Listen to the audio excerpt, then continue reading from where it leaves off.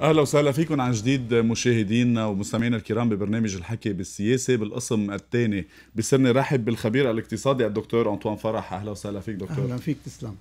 بداية مع الملف اليوم يلي شاغل بال اللبنانيين ومتخوفين من أي تداعيات إنها تكبر من خلال هذا الملف.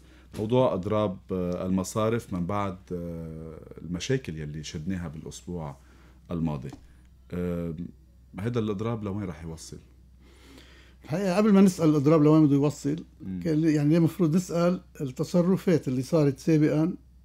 ما ممكن كانت توصل إلا للمطرح اللي وصلنا له كان ممكن نوصل لمطرح اسوء التصرفات يلي إنه المصارف ما عم تعطي المصاري للعالم. خلي خليني خليني أوضح. يعني أنت اليوم لما بيكون في عندك قانون وبدك تحترم هذا القانون ما فيك تحت أي مسمى تخرق هذا القانون وتوجه رسالة للناس. مفادها كل واحد الشاطر بشطارته دبروا راسكم. يعني هذا الشاطر بشطارته دبروا راسكم.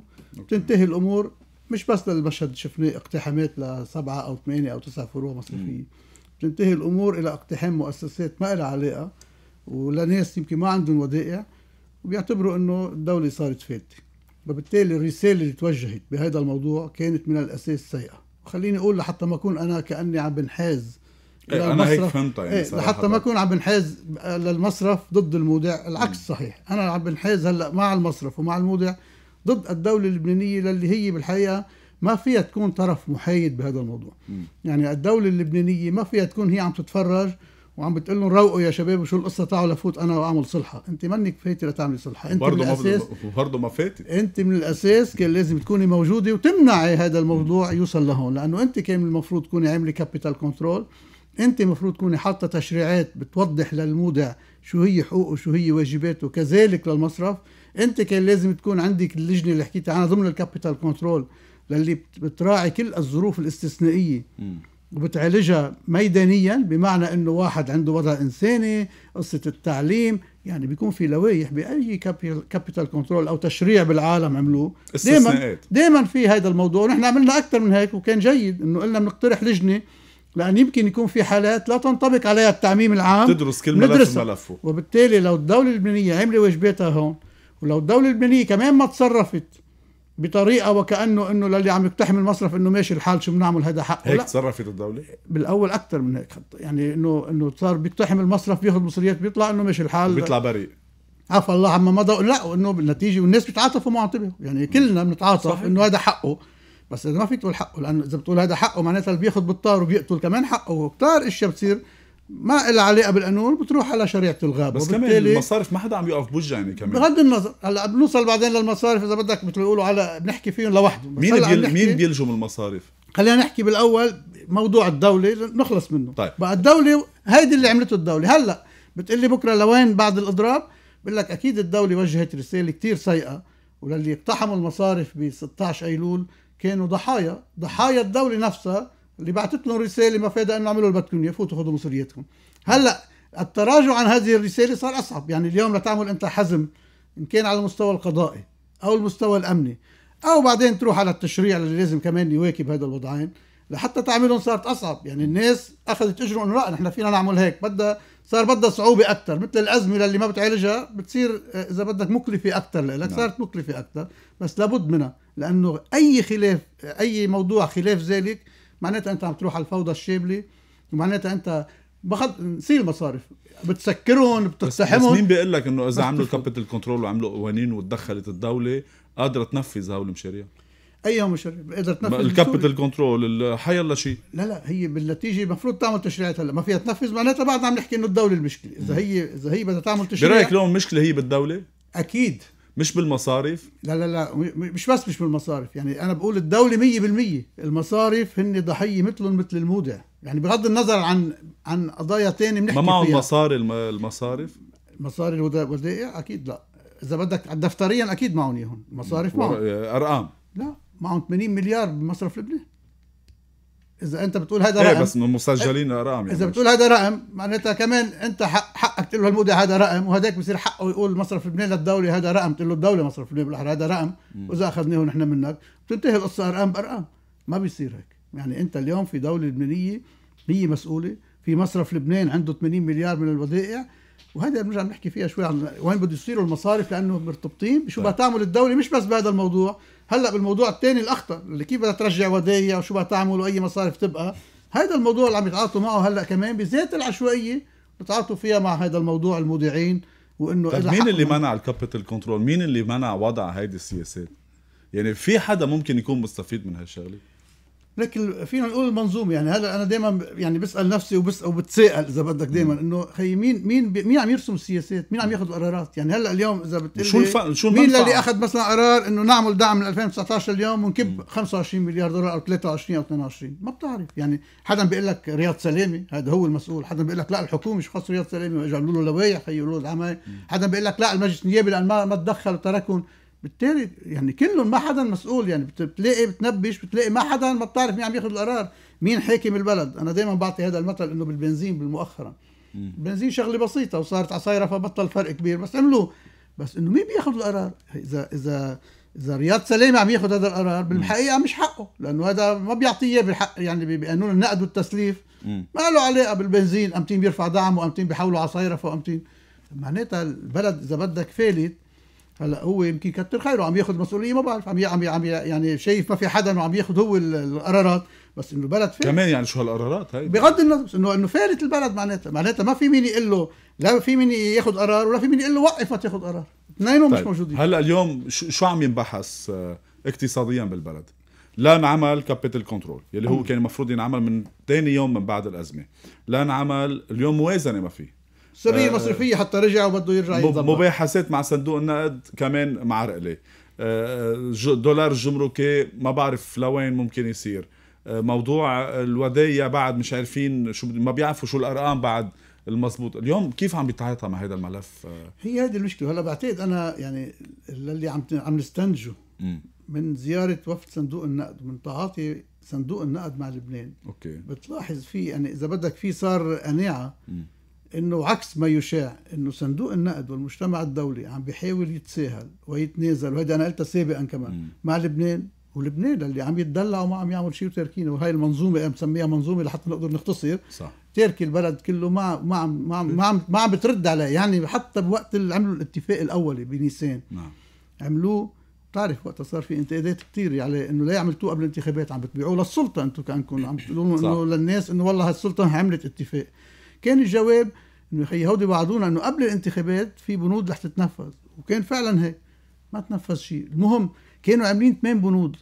اختصروها هلأ بيقولوا لك في أربع بنود أعطونا هالأربع بنود يا خيي بنعمل يعني عم اتفاق. بيتنازل صندوق عم؟ يتنازل عم يتنازل أنا برأيي من موقع حرص الدول اللي واقفة ورا صندوق النقد إنه خي بدنا نساعده البلد سهلوا له إذا في شيء معقد بدنا نساعده بس إذا هو ما بده يساعد نفسه في كارثة أو إذا المنظومة هيك بدها أو عن غير قصد عم عم تروحنا لهون. هيدي هيدي الكارثه الحقيقية. يعني صندوق النقد بتجاوب أكثر بيشبه ديكان وقت اللي كان آه، سادر يعني يجي يقول لهم كان عندهم شروط بسادر بالآخر إجوا صغروا هالشروط وسموها لهيئة ناظمة. صح. ما اعطوا إياها. وراحت. وهلا هيك رح عم بيزموا بهالشروط رح تصير شرط واحد ما حيعطوني اياه بالآخر.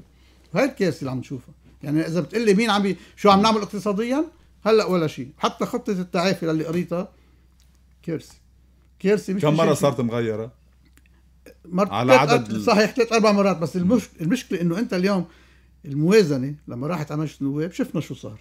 ما هيك؟ وقديش صار في خلافات وارتدت ومع إنه عم تعمل موازنة لسنة مرقت يعني ماش لها قيمة بالمبدأ بالمبدأ الحسابي مش مفترض يكون عليها خلاف. بالمبدأ الاقتصادي بقى لها قيمة بقى انتهت. قطعت. هذا بند يعني بس لصندوق النقد كان لنقول نحن عم نأيد صرنا بانتظام مش أكثر من هيك. إذا هيدي عملت هيك طيب كيف تعمل هيدي خطة التعافي للي كلها أرقاء آه، عفوا كلها إذا بدك نص إنشائي ما فيها رقم وما فيها جدول زمني. يعني بعطيك مثل بخطة التعافي. بتقول الدولة سوف نسعى إنه نساعد مصرف لبنان ليسد الفجوة قدر الإمكان. لك هالجملة شو هي قدر الإمكان وسوف نسعى؟ لا في رقم إنه أنت قد إيه بدك تساعده ولا في امتين بدك تساعده. سوف نخفض العجز على نسبة ال- الناتج القومي بما تيسر أو شي كلمة مستعملين كلمة إنشائية. لا حاطين جدول زمني على قد إيه، لا حاطين شو هو الرقم المستهدف؟ بدك تقول أنا 10% بدي أوصل لنفترض العجز. ما حاطين رقم وحاطينها فلو.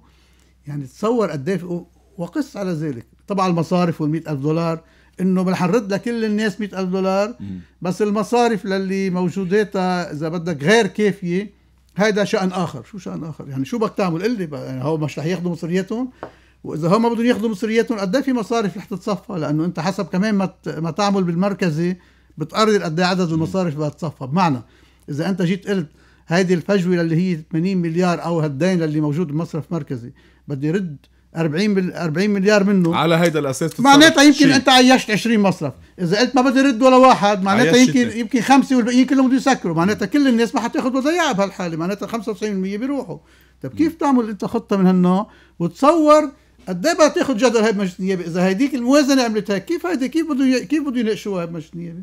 لا برأيك هن ما عندهم أرقام ولا ما بدهم يرتكزوا على الأرقام؟ هلا ممكن ممكن يكونوا هن عاطين عناوين ومفروض مفروض مع صندوق النقد يدقق فيهم. بس م. المشكلة إذا كان كمان صندوق النقد صار عم يتساهل لهالدرجة لأنه هيدي معناتها بيعطيك المصريات وأنت بتعرف نماذج كتير دول أخذوا الأموال من صندوق النقد وبعضهم لليوم 20 و30 سنة وبعضهم بيجرجروا وما عم يمشي الحال. يعني بعضهم بحالات التعثر واقتصادهم منه متعافى وبعضهم وضعهم صعب.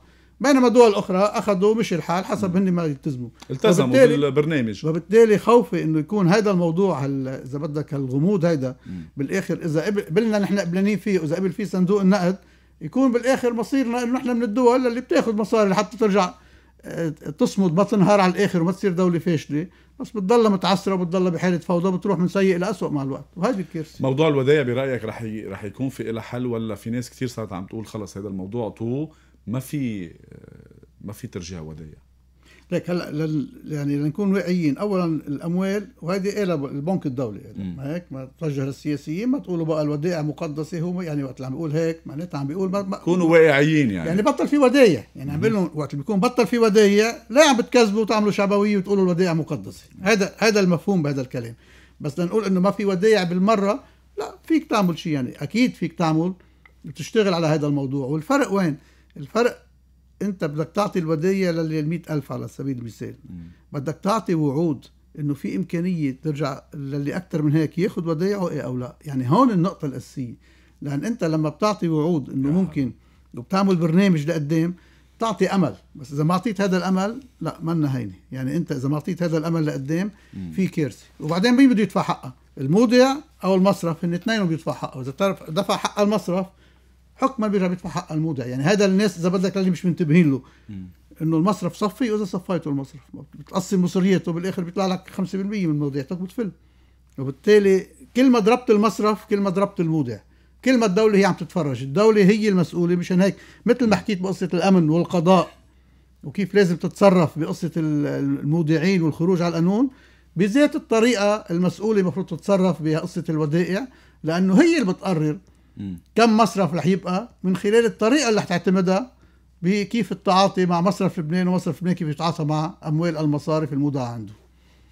اليوم مصيرنا واقف برأيك على الاتفاق مع صندوق النقد ولا رح نقدر نتخطى هيدي المرحلة بصندوق نقد لأنه في مين عم بيقول كمان إنه لا صندوق النقد آه، آه، كثير مهتم. ولا اللبنانية هن بدهم صندوق نقد ولا المسؤولين أو المنظومة مثل ما حضرتك بتستعملها. المنظومة ما بدها كمان صندوق نقد. بالحقيقة اولا اولا نتذكر إنه نحن نهرنا وما كان في عندنا لا صندوق نقد كنا بوضع بالأول جيد ووصلنا للانهيار. نعم. وأنا خليني أرجع أذكر معليه هيك مش مش على سبيل التباهي بس للتأكيد. إنه أنا من 2016 2017 بلشت أحكي إنه صار لازم نتواصل مع صندوق النقد بهديك الفترة اللي كنا لا مفلسين فيها ولا منهارين ولا عندنا شيء. صار لازم نتواصل مع صندوق النقد ونطلب منه خطة إنقاذ. لأنه هذا الموضوع صندوق النقد أولا بيعني رقابة عليك لأنه أنت مش منك مؤمن أنه المنظومة سوف تاخذ الإجراءات لحتى تمنع كانت بوقت الانهيار ما كان بعد في انهيار. كنا عم نطلب هالشيء لحتى صندوق النقد يعمل هذه الرقابة. واثنين بتعني أنه أنت مجبور تعمل إصلاحات وتنفذ شروط بيحتاجها اقتصادك بس انت ما عم تنفذها لأنك شعبوي. مثل تعرف حتى الكهرباء اللي مؤخرا هلا صارت قاسية على الناس بالحقيقة. يعني بوقتها كانت كانت كثير مقبولة وفيهم يتحملوها الناس. هلا إيه هلأ بط يعني صارت أصعب. ويمكن بعد تنطر شوي بتصير أصعب بتصير بلا كهرباء يعني. بتصير خياراتك صرنا كثير صرنا 15 يوم بلا صحيح كهرباء. معك حق. وبالتالي بهذا الموضوع إنه أنت من من زمان كان لازم تحكي مع صندوق النقد. هلأ بتقول لي بلا صندوق النقد بقول لك لا أكيد مش بس انهيار. دولة فاشلة لأن إحنا ما عم نعمل أي إجراء. يعني إذا مع صندوق النقد هيك كيف بلا بلا شيء يعني بلا رقيب بلا إصلاحات بلا حدا عم بيذكرنا أو عم مثل ما إجا امبارح الوفد ليحفزنا يجي يقول لنا إنه بليز يعني بعدهم هن أنا بالعكس وعكس ما يقال إنه صندوق النقد ما بده لا صندوق النقد. متحمس. والدول اللي هي لها كلمة بصندوق النقد متحمس إلى مساعدة لبنان مثل ما كانت بمؤتمر سادر وللي ترجتنا إنه بليز اعملوا شوية إصلاحات لأن إحنا بدنا نساعدكم. وما قبلنا وبعدنا ماشيين بذات النهج. الموازنة انحكى إنه من بعد ما طلع عليها صندوق النقد اعترض على موضوع على عدة مواضيع ومن ضمنها كمان في موضوع الدولار الجمركي. هو طالب ربط الدولار الدولار الجمركي بصيرفة واليوم صيرفة صارت 29000 نعم. أكثر هيدي- صار 30000 30000 30000 صار. هيدي ش... هيدي شو رح تعمل هو بالحقيقة أنا يعني كيف رح يكون ارتداداتها يعني في حال ما هي- أخذوا؟ مع إنه أنا بشك يعني ياخذوا هيك قرار بس هي إنه- ما هي المشكلة وين؟ إنه أنت المشكلة وقت بتوصل بت- بتصير بالأزمة. بتصير أنا دائما بقولها إنه بتصير كل قراراتك موجعة. وبطل في عندك شيء تهديه للناس. بصير عندك وجع بدك توزعه على الناس بالعدل. يعني بدك تشيل من هيدا شوي لأنه هذا بطل يقدر يتحمل. هيدي الفئة رح تنهار. وإذا انهارت ما فيك تنطر لحتى تعمل إنقاذ بدك تشيل من من عند غيرهم للي أقل وجعا وتحط لهم شوي لهالجماعه وبالتالي نحن عندنا قصة الدولار الجمركي بالأساس ما في شيء اسمه دولار جمركي بالحقيقة. هو الحقيقة بالوضع الطبيعي أنت دولارك هو الدولار الحقيقي. يعني لما التاجر بيجيب بضاعة وبيكون شاري دولاره على 30000 مفروض يتحاسب على قصة ال 30000 مش على قصة والله 15 وتعال نعمل له سعر.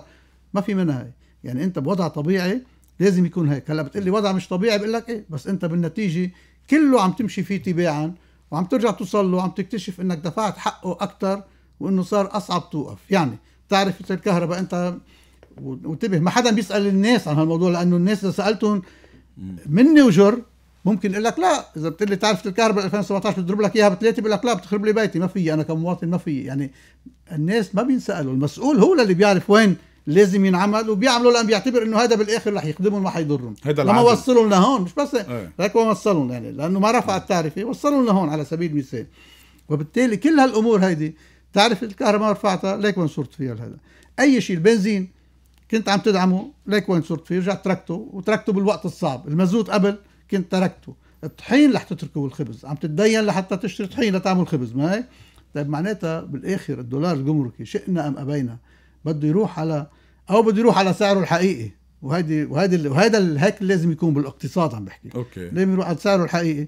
أو بدك تضلك تشد فيه وبدك تتحمل من مطرح تاني. وين مطرح تاني؟ يعني القطاع العام هلأ مفلس. ما هيك؟ عفوا موقف منهار إذا ما عملت جبت إيرادات للدولة من هذا الدولار الجمركي وحملت الناس شوي زيادة معناتها. هيدا هون بده ينهار. وهيدا إذا انهار معناتها عم ينهار حتى الأمن والعسكر. نحن وقت نقول قطاع عام هو العسكر والأمن. للي هذا بيحميك وهذا استثمار بالحقيقة. يعني أنا بقول لهم بعدني هول 4 5 مليار اللي جبناهم بالصيفية لو ما هذا العسكري مأمن لك الأمن والحد الأدنى ما كانوا ما كانوا إجوا. وبالتالي هيدا هون استثمار. وبالتالي بدك تنقي إيه بدك تتوجع هون لحتى تنقذ نفسك هون تعمل استثمار. ولأنه هيدي لابد منها. بالآخر بدك توصل لها يعني لو أجلتها اليوم بعد سنة بدك توصل لها وتكون ظروفك أصعب وبدك تقول يا ريتني عملتها قبل يمكن كان وضعي أفضل. أكثر هيدي الحقيقة. وبالتالي أنا مع فكرة إنه الدولار الجمركي هو السعر الحقيقي للدولار وكله إيه يرجع اليوم السعر طبيعي الحقيقي للدولار؟ لا السعر الحقيقي بقصد ده عم تشتريه يعني إذا صايرة عم تأمن لك إياه كتاجر ب 30000 يكون هذا السعر الحقيقي. يعني أنت كتاجر قد إيه عم بتجيبه؟ هذا هذا السعر الحقيقي. السعر مش الحقيقي مش السعر السوقي. لا ما ضروري. يعني أنت إذا عم عم تحصل عليه من صيرفه معناتها بدك تحاسب على هذا الأساس. لا، ما في نحاسبك على ال على ال على العالي وانت عم تاخده بس العكس. مش عم بيغطي مصرف لبنان بيغطي قسم منها بس هو عم يدفع خسائر فيها انتبه يعني مشان هي. هيك إيه طبعا يعني في ما السعر خسائر. الحقيقي تبع الدولار لا لا السعر الحقيقي هو بالسوق السوداء وحتى هذا السعر الاصطناعي كنا دائما نقول لأنه مصرف لبنان دخل ودفع له مليار أو مليارين بصرف خمسة طيب. أشهر.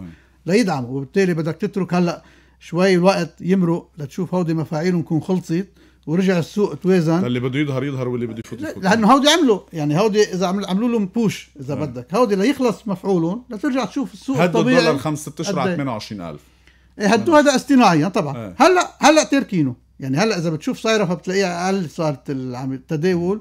ال- الدولار السياحي راح لأنه بفترات معينة بحزيران وتموز. كان عندنا دولار سياحي كافينا. يعني مصرف لبنان حتى الاحتياطي. تبعوله طلع بهذه الفترة. يعني اشترى أكثر ما باع هلا خلصنا هلا أنا بعتقد إنه تاركينه ليشوفوا توازنه قد إيه. يعني هذا الدولار الحقيقي قد إيه سعره برأيك. لوين ممكن يوصل؟ هلا مثل ما هو هلا الوضع ما بعتقد كتير بقى لأن إحنا تركناه بتتذكر تركناه شي 37 لما تدخل مصرف لبنان بقوة وكب هال هلا هالمليارات. 39 هلا هلا ممكن إيه من من هالوقت لليوم أكيد أنت بعدك عم ترجع يعني احتياطك عم ينزل واقتصادك عم ينكمش ووضعك منه ما عم يتحسن وبالتالي أكيد إذا تركته بيطلع. 37 ما بعرف وين بيكون. يمكن وصل بيكون لل 40 لل 45 إنه في له سعر مقبول بالآخر بيتوازن عنده إلى حد ما. بصير بصير يطلع تدريجيا بس.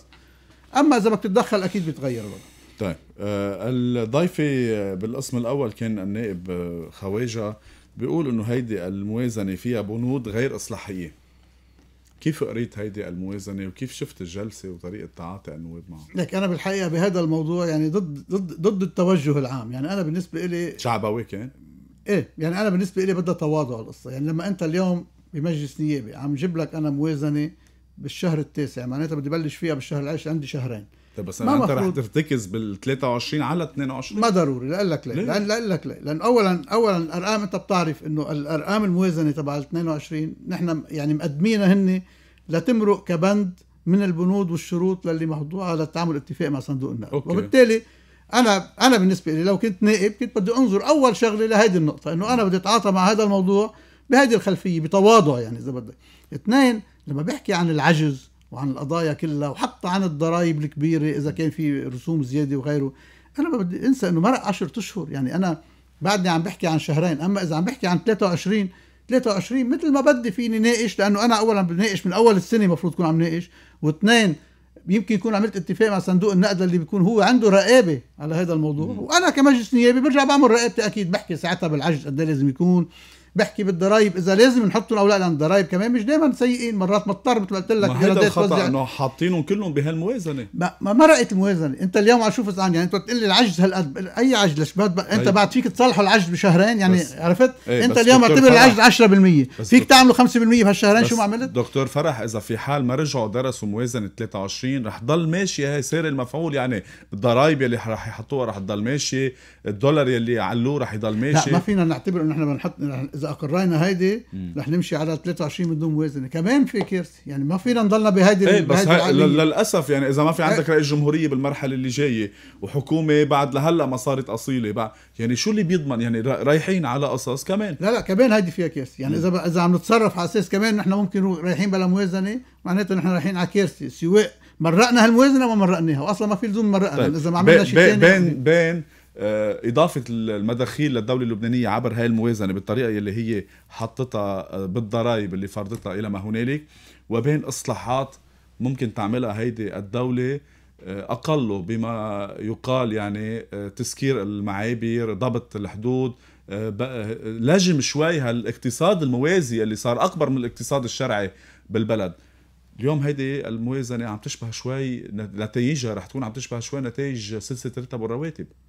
هل نحن مؤمنين أنا وأنت وأي مواطن عم يسمع هلا. إنه الدولة قادرة تاخذ هذه الإجراءات وتسكر معابر وتاخذ قرارات يعني أنا على الأقل لكون واقعي ولحتى أحكي كمان كنت عم أقول لازم طب وعمرها ما. تاخذ لكن ما تاخذ قرارات أنا بقول لك بخطة التعافي حاطينها مثلا سوف نخفض يعني أو السعي إلى خفض التهريب وال- والسوق ال- الأسود شو هذا السعي وإلى معناتها لا فيك تسعى ولا فيك تعمل وعم نضحك على حالنا. يعني انت بتتذكر يعني مثل واحد عم يلطم وعم يدعي. يعني ما فينا. يعني إنه اليوم أنا ماني مؤمن إنه أنا بقول لك أكيد إذا بتقول لي إنه فيني فيني أنا أوقف تهريب وفيني أوقف اقتصاد أسود وفيني آخذ هذه الإجراءات إنه معقول أقول لا أو معقول في عاقل بده مصلحة البلد والاقتصاد يقول لا. ما كل الناس بدهم هذا الأمر.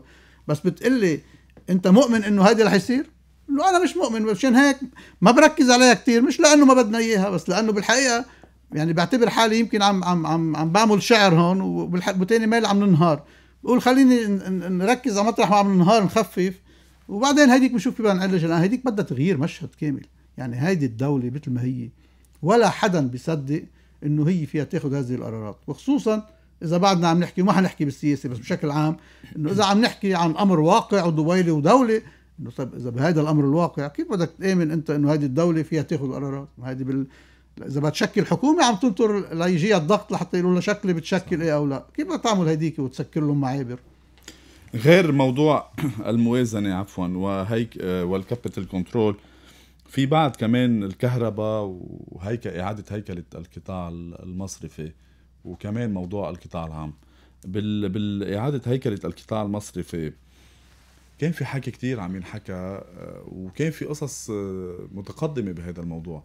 اليوم وين المصارف من من هذا الموضوع؟ لك بالحقيقة اللي بعرفه أنا إنه هيئة الرقابة على المصارف من سنة تقريبا من وقت الحكي مع صندوق النقد وبلشوا مم. بلشت بعملية تقييم ذاتي هي تاخذهم مم. يعني وجهت أسئلة عملت زيارات عملت مقابلات وبعتقد إنه ملفات المصارف اللبنانية كلها شو وضعيتها هلأ صارت جاهزة يعني إذا بدك هلأ الحكومة أو هيئة الرقابة كله صار عنده الوضع الحقيقي يعني طبعا صار بيعرفوا وضعية المصارف. بس مم. مثل ما كنت عم بقول لك بالأول يعني هذه وضعية المصارف مرتبطة دفتريا أنت شو بدك تعمل بالحل.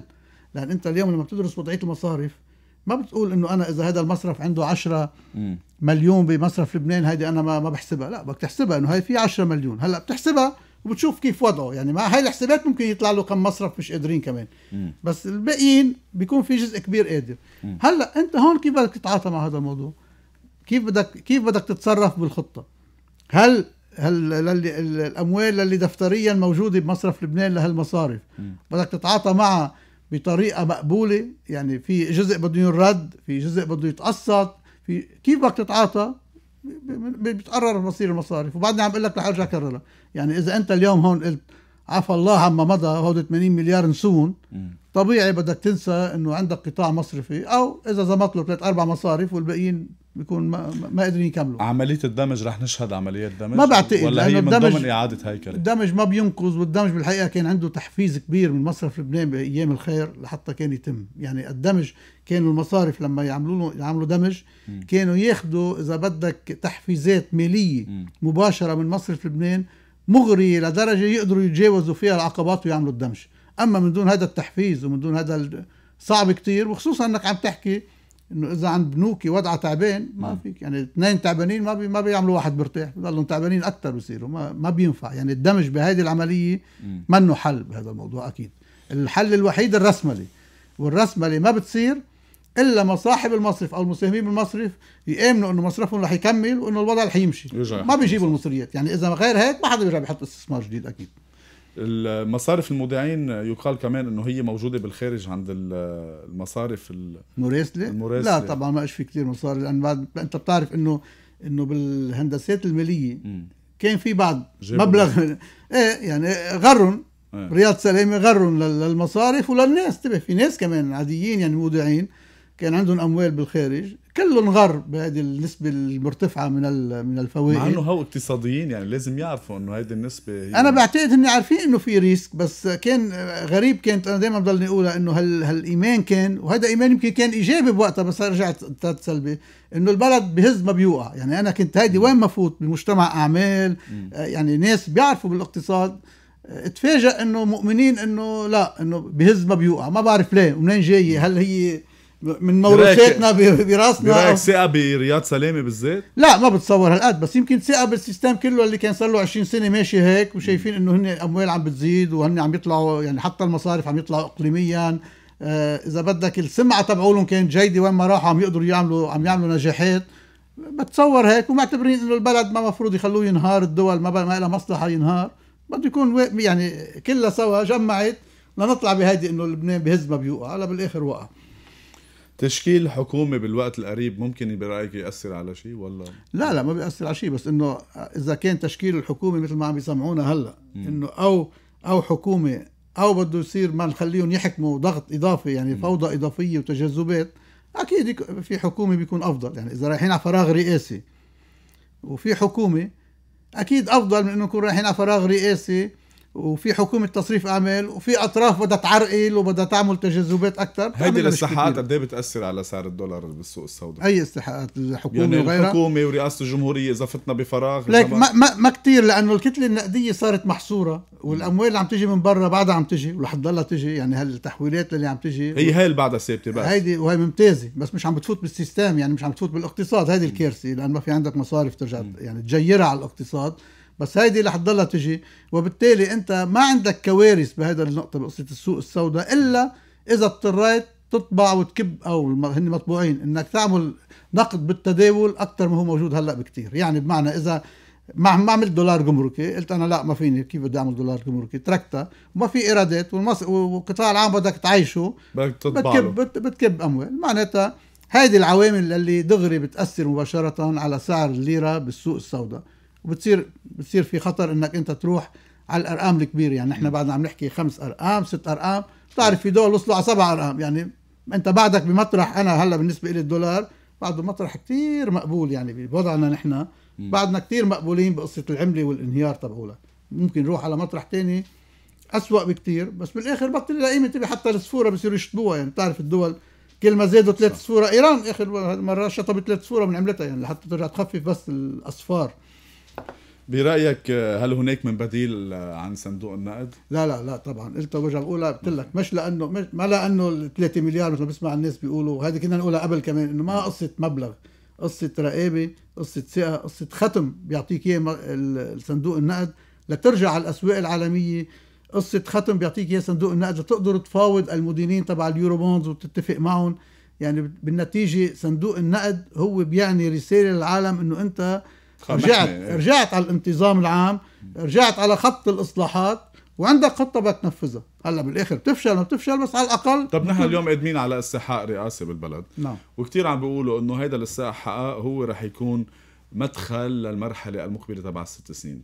بكرة هاي الرئيس الجمهورية المقبل. إذا في حال عمل اتفاق مثل اتفاق سادر أو إلى ما هنالك إجت دول من دون صندوق النقد قررت تساهم هي لبنان. نقدر نطلع من هالأزمة؟ هلا إذا في توافق دولي مم. هو بيشبه صندوق النقد. ليش سيدر شو كان؟ ما هو سيدر كان تمهيد إنه لحتى ما تروح على صندوق النقد وما كنت بدك تروح على صندوق النقد. لحتى ما تبعت رسالة مبكرة إنه أنت على وشك الإفلاس. يعني هيدي كنا نسمعها دائما لما نطالب إنه روح على صندوق النقد كان الجواب إنه خي ما بدنا نبعث رسالة للعالم. تنفهم نحن إيه، إنه بلشنا. نحن ولا- وصلنا على الإفلاس. خلينا خلينا نشوف شو بدنا نعمل.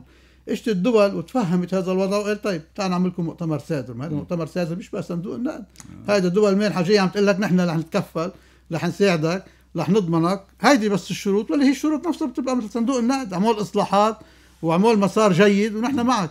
وبالتالي أي جو بيشبه هذا الجو يعني مناخ دولي جاي عم يضمنك ما هو ذاته. يعني بيضمنك عبر صندوق النقد. إذا بتلاحظ اليوم الدول العربية السعودية بتقول لك نفذ نفذ مطالب صندوق النقد. مش لأنه بدها صندوق النقد. لأن هذه مطالب دولية إذا بدك عالمية متفق عليها. إنه نفذ أنت مشي على هالمسار الصحيح نحن بنساعدك. ما بتمشي على المسار ما فينا نساعدك. وهذه دائما بس بدي أقولها بالآخر رح ارجع أكررها. إسرائيل سنة 82 انهارت اقتصاديا. ما عطيوها الأمريكان للي هن دائما بقول إسرائيل بيعتبرينها بعد شوي ولاية أمريكية. صح. ما عطيوها أموال إلا ما بالآخر رضخت ونفذت الشروط الاقتصادية الإصلاحية اللي كانت مطلوبة منها الخبير الاقتصادي الدكتور أنطوان فرح أنا بدي أشكرك على هيدي الحلقة. شكرا لك. شكرا لك. مشاهدينا لهون بنكون وصلنا إلى ختام حلقتنا. شكرا على حسن المتابعة ونلتقى نحن وياكم بكرة إذا الله رد.